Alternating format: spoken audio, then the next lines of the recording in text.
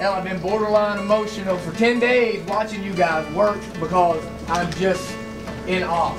I'm in awe of this group, of how hard you work, how much you believe, how, how much fun you have. I, I literally caught myself stepping back multiple practices and just watching.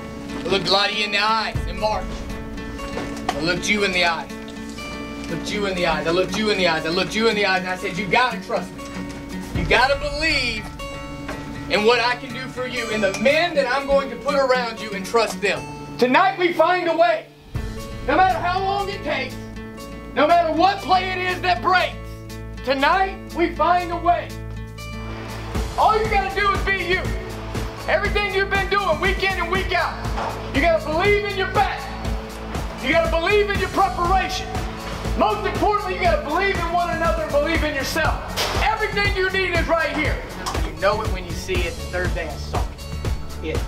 I saw it. The way you, you the way you came out and appreciated that moment, gravity of that moment, the way I can just feel you guys being here.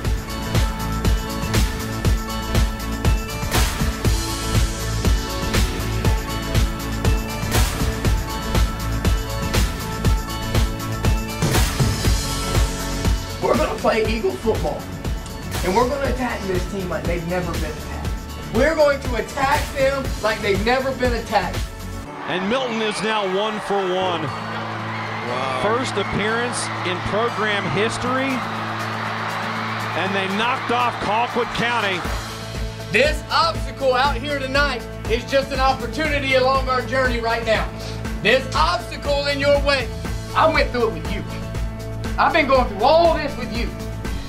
I can't tell you how much that means to me. How much you guys have made my life better. And I hope to God that, that I have had some impact and we have had some impact on you as well.